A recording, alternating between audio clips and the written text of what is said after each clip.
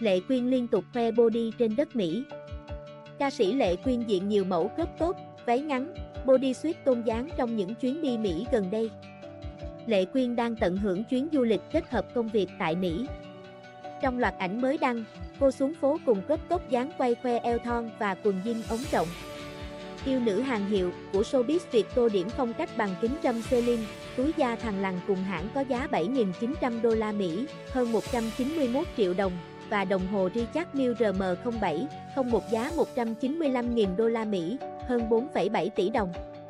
Khi thông dong giữa cuộc đời bình thản, Lệ Quyên chọn xét đồ ôm sát của Marc Jacob và xỏ dép Gucci. Cũng trong chuyến đi này, bà mẹ một con lên sân khấu với thiết kế đầm dài cổ yếm phô trọn đường cong. Trước đó, khi ở Mỹ hồi tháng 7, Lệ Quyên cũng thường mặc trang phục tôn dáng mảnh mai.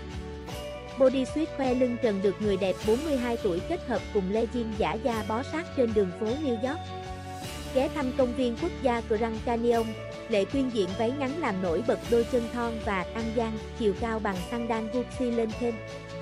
Bạn gái Lâm Bảo Châu chuyển sang phong cách năng động hơn với áo thun ngắn, quần short và không quên nhấn nhá phụ kiện hàng hiệu. Lưu lại Mỹ cả tháng, giọng ca giấc mơ có thật tranh thủ đi biển cùng con trai. Cô chọn áo tắm liền thân Versace với khoảng hở chừng mực. Khi nghỉ dưỡng trên du thuyền, Lệ Quyên ưu ái monokini cắt khoét táo bạo hơn, giúp cô khai thác triệt để sắc vóc.